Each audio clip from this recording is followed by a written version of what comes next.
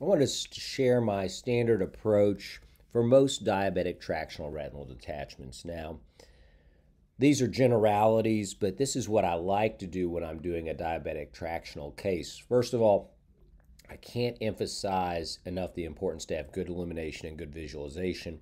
The NGENUITY system and a chandelier light gives me really great aspects of both. Uh, it's important to be able to see what's going on not only where you're working, but distal to where you're working because there can be areas of traction all over the place. And so being able to have that chandelier really helps. Here we can see my first step in patients who have their mid peripheral vitreous separated from their retina is to go in and dissect free that peripheral vitreous from the macular vitreous.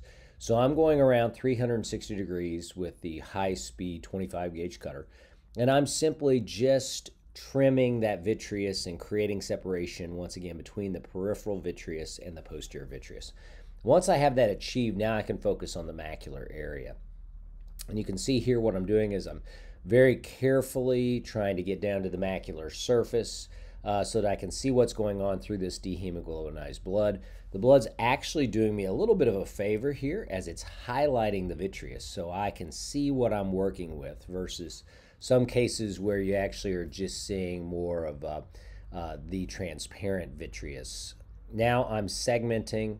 And what I really love about the high speed cutter is the fact that there's virtually no traction yet it has the ability to pull in this fibrotic tissue. And I like segmentation a lot. And so I'll usually try to find planes where I can segment, uh, and then I'll try to lift up and create new planes to segment. You can see I've eliminated a lot of the traction here, and I'm just segmenting some of these uh, vitreous bands between these fibrotic stalks of neovascularization. We do have a bit of a macular fold here from this chronic traction.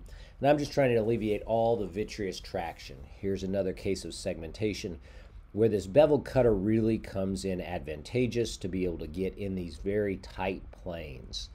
And then I'll simply let the cutter do the work for me. And you can see here it just will magically pull in some of this fibrotic tissue and trim it off just beautifully, sparing the underlying retinal vasculature.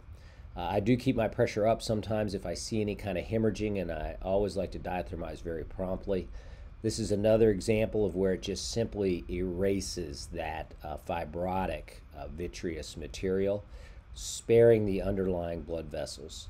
And now I can finally get back to this optic disc neovascular tissue and trim it off and trim it out to the periphery. I try to eliminate any kind of vascular stalks uh, because diathermizing over the optic nerve head can be a little bit dangerous as far as that goes. You should avoid that.